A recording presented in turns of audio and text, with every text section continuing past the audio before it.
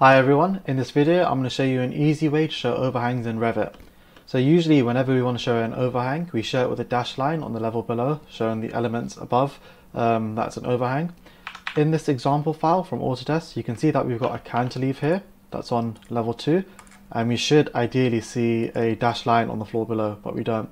So usually what happens, or what I see people do, is they go annotate, they go to a detail line, and wherever the overhang is, or where it stops, starts, to go here, they'll copy it to the floor below. The problem with this is, is that if you go to the element again and maybe you change the overhang amount, so it goes here, I'm just going to hit tick, don't attach, you can see that this hasn't updated, right? So the best way to do this is using the line work tool and range base overlays. So if I go down here and I go to range base level and I go to 1 and I set the level to level 2 and then if I go here and I click on the look up direction you can see that we can see the floor above, right? And now we want to select the element that we want to show the overhang for. If you can't select the element, that's an underlay. You need to go down here to your bottom right and click the select underlay elements. Great, so once that's checked, we just want to select the element that we want to show the overhang for. So for this part, it's going to be the floor. I'm just going to isolate the element and I'm going to press LW on my keyboard for the line work tool. And then for the line style, I'm going to do overhead, select this line. And now this is the best part. When I set this back to none, we will still see the line work override.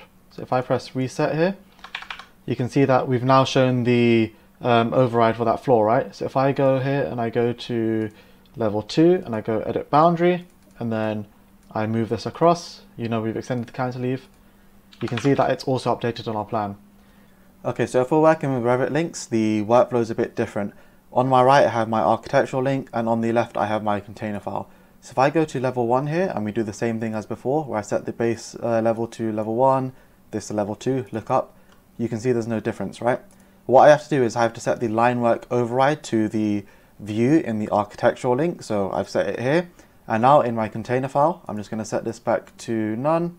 What we have to do is go to Revit links in the visibility graphics for the view, and I'm going to set this from by host view to custom, and then I'm going to select the actual view that we had in the link. So this is level 1 for this link here.